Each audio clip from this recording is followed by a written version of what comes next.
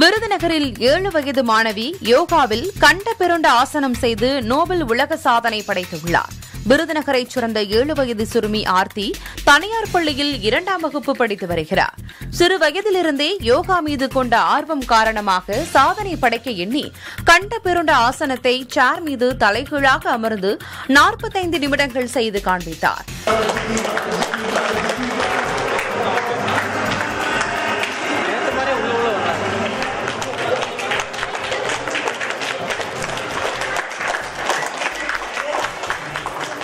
இதற்கு முன்பு இதே யோகாசனத்தை சிவகங்கை மாவட்டத்தைச் சேர்ந்த பதிமூன்று வயது மாணவி பதினைந்து நிமிடம் செய்தது சாதனையாக இருந்த நிலையில் இதனை சிறுமி ஆர்த்தி முறியடித்துள்ளார்.